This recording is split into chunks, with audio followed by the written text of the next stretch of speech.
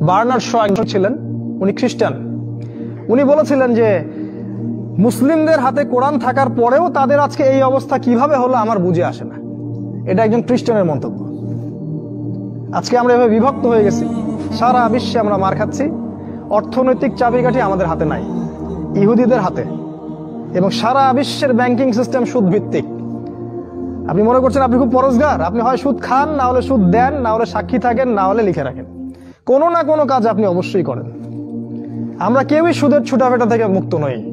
অথচ নবী সাল্লাম কতদিন আগে বলেছিলেন, যে ব্যক্তি সুদ খায়, সে যেন তার মায়ের সাথে জেনা করে। জেনা বোঝেন তো? মাকে ধর্ষণ করা। প্রত্যেক সুদখরের পাপ, তেহাত্তরটা পাপের সবচেয়ে নিচের পাপ, সে তার মাকে ধর্ষণ করছে, প্রতিদিন ধর্ষণ করছে। প্রতি বেলায় সে মাকে ধর্ষণ করছে। তিন বেলায় সে সুদের ভাত খাচ্ছে। কারও কোনো ভ্রুক্ষেপ নাই। ইসলামিক, জাকাত কেন্দ্রিক ব্যবসা ভিত্তিক অর্থনৈতিক সিস্টেম কি আমরা চালু করতে পেরেছি? আমরা যে এত বড় বড় ইসলামিক দল আছি আমাদের দেশে, আমরা কি করতে পেরেছি এই পর্যন্ত? সুদ।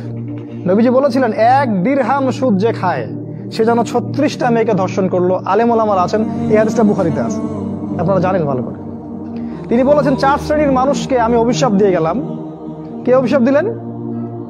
নবী সাল্লাহ যদি আপনি মনে করেন যে রাসুলের অভিশাপ নিয়ে কবরে গিয়ে আপনি প্রশ্নের উত্তর দিতে পারবেন, তাহলে আমি বলব যে আপনি মঙ্গল গ্রহে চলে যান, এই পৃথিবীতে থাকার দরকার নেই।